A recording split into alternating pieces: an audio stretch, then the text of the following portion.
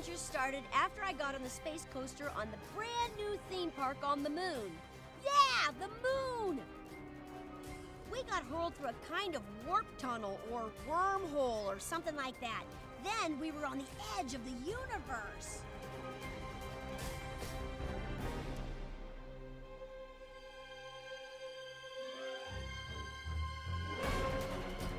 You wouldn't believe the amazing things we saw for ourselves. My friends in science class would have freaked out. Even my science teacher wouldn't believe me. That's why I filmed the whole thing, or as much as I could.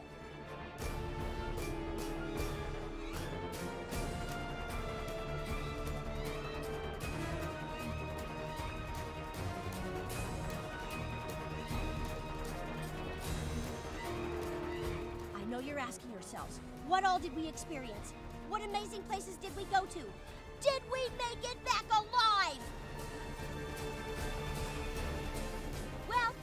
gonna have to find out for yourself. See what a roller coaster ride through real outer space is like when you join me for a totally cosmic adventure.